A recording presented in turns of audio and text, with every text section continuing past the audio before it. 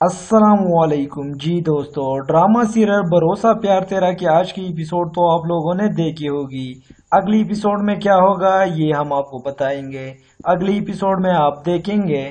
ندا شکیل کے ساتھ واپس گھر آتی ہے تو یاسر اسے دیکھتا ہے اور یاسر ندا سے پوچھتا ہے کہ تم شکیل کے ساتھ کیوں آئی ہو؟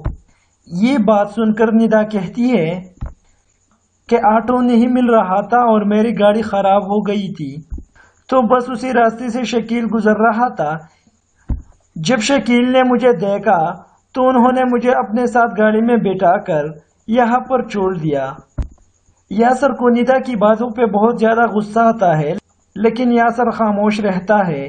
اس کے بعد آپ دیکھیں گے۔ لائب اپنے کمرے میں میڈیسن لے رہی ہوتی ہے۔ تو مکال اسی ٹائم کمرے میں آتا ہے۔ اور اسے دیکھ لیتا ہے۔ مکال اس سے پوچھتا ہے کہ لائبہ کیا کر رہی تھی؟ تو لائبہ کہتی ہے، میں میڈیسن لے رہی تھی۔ تو مکال کہتا ہے کہ لائبہ پہلے تو آپ کو میڈیسن بالکل بھی اچھی نہیں لگتی تھی۔ تو اب اچانک میڈیسن کیوں لے رہی ہو؟ تو لائبہ کہتی ہے وٹامنس کی لے رہی ہوں اس کی بات آپ دیکھیں گے کہ لائبہ اور یاسر کے درمیان خوب لڑائیاں ہو جاتی ہے اور یہ جھگڑے اور بھی بڑھ جاتے ہیں۔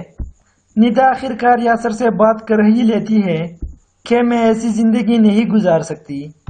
میری اپنی بھی زندگی ہے۔ وہ مزید کہتی ہے کہ تم مجھے آزاد کرو اور میرے گھر سے دپا ہو جاؤ۔ جی دوستو، آپ کو ڈرامہ سیریل بھروسہ پیار تیرا کی آج کی یہ پرومو کیسی لگی؟ ہم سے کمنٹ کر کے ضرور بتائیے ویڈیو پسند آنے پہ اسے لائک کر دیجیے۔ اگر آپ ہماری یوٹیوب چینل پہ نئے ہو تو اسے سبسکرائب کر دیجیے۔ شکریہ۔